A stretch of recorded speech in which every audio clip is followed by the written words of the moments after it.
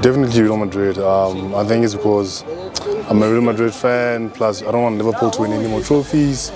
They're getting too big for their shoes. So obviously, I think Madrid's going to bring it home because we have bigger match temperament. So I think Madrid will bring it home. I would like to see Liverpool win the Champions League because they've been doing great uh, throughout the whole season, and they have uh, some of the greatest players in the in the league.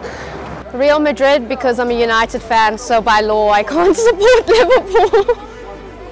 Mm, I'm with Real Madrid, yeah, because uh, Liverpool has already won two more trophies, and uh, uh, Liverpool is my rival team. So I'm, I'm a Tottenham Hotspur fan. So I would like Madrid to take the, the league. So my name is Nathan Walton, and uh, this uh, week's cha Champions League final, I think that Real Madrid are going to take it. Um, they've shown a lot of resilience in the past few weeks, getting through the stages. So I think they're going to take it this week. I'd like Real Madrid to win on Saturday evening.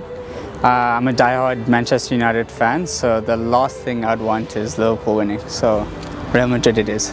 Um, I would like uh, Real Madrid to win the match because um, Ronaldo, who's playing for Manchester United, is a former player of Real Madrid. So that's why I want uh, to win the match. So it's a tricky one for me. So um, I think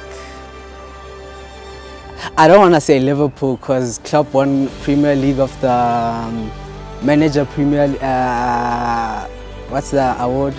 Yeah, yeah, yeah, that one.